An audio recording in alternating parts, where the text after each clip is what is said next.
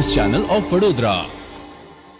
વડોદરા શહેરના સંગમ ચાર રસ્તા પાસે વૃંદાવન ટાઉનશીપથી સંગમ તરફ જવાના માર્ગે શ્રીજી માર્કેટની બહાર છેલ્લા છ દિવસથી પીવાના પાણીની લાઇનમાં ભંગાણ પડ્યું છે, જેના કારણે પાણીનો વેડફાટ થઈ રહ્યો છે, છતાં અધિકારીઓ અને ચૂંટાયેલા પ્રતિનિધિઓ દ્વારા કોઈ તસ્દી નહીં લેતા સ્થાનિકોની ફરિયાદ મળતા આજે વડોદરા શહેર કોંગ્રેસ પ્રમુખ ઋત્વિક જોશી તથા સ્થાનિક આગેવાનો સ્થળ પર પહોંચ્યા હતા અને સ્થળ નિરીક્ષણ કર્યું હતું. તેમજ અધિકારીઓને રજૂઆત પણ કરી હતી. સાથે સાથે તંત્ર સામે આક્રોશ પણ વ્યક્ત કર્યો હતો. વડોદરા શહેરમાં ભારતીય જનતા પાર્ટીનો જે સત્યાવીસ વર્ષનું જે કુશાસન છે એમાં આજે પણ પ્રજાને બે ટાઈમ ચોખ્ખું પાણી નથી મળતું. જે પ્રજા વેરો ભરે છે એનું વેરાનું વળતર ના મળે પાયાની સુવિધા ના મળે. અને પાણીનો મુદ્દો બહુ મોટો મુદ્દો છે. કારણ કે ભારતીય જનતા પાર્ટીના નેતાઓ જ્યારે મીડિયામાં આવે અથવા કોઈ જગ્યાએ ભાષણ આપવા જાય ત્યારે વાતો મોટી મોટી કરવાની અને કોર્પોરેશનની અંદર કાગળ પર બધા કામો થઈ ગયા છે એવું બતાવવામાં આવે.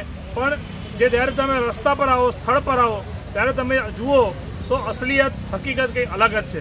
અને એનું જીવતું જાગતું ઉદાહરણ, આ જે વિજયનગર બાજુ જે આ રોડ તમે જુઓ કે જે સંગમ ચાર રસ્તા બાજુ જે રોડ જાય છે, જ્યાં સુએસ પમ્પિંગ સ્ટેશન સ્ટેશન છે ઇન્દ્રપુરીનું, એની બહાર જ આજે પીવાના પાણીની લાઇનમાં જે ભંગાળ પડેલું છે. અહીંયા આજુબાજુ જે સ્થાનિક દુકાનવાળા જે અમને પૂછ્યું તો કીધું કે ગયા શુક્રવારથી અહીંયા ભંગાણ પડ્યું છે. એક બાજુ વડોદરા શહેરની પ્રજા પાણી માટે, પીવાના પાણીના માટે વલખા મારે અને અહીંયા છેલ્લા લગભગ આજે પાંચ દિવસ થઈ ગયા અને પાણીની લાઈન લીકેજ થઈ ગઈ છે.